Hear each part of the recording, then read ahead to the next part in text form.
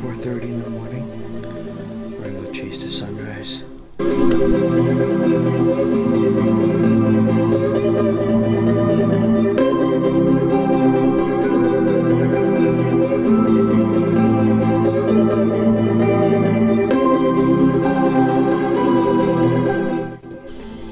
Alright guys, right now we just got to the spot where we're gonna watch the sunrise and it's uh, I think it's around like 4.45-ish right now and uh, the weather report says that the sunrise is gonna be around 5.10 so we're just gonna wait it out and uh, enjoy the sunrise together.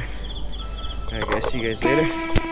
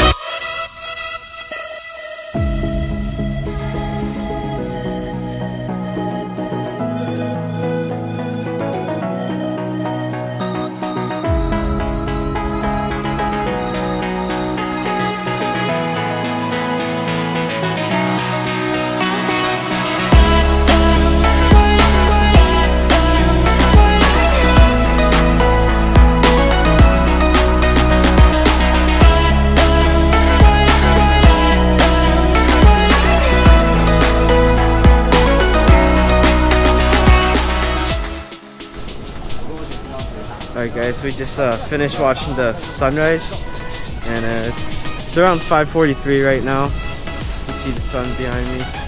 It's bright daylight already and uh, I think we're gonna get, get some breakfast and uh, yeah, we'll see.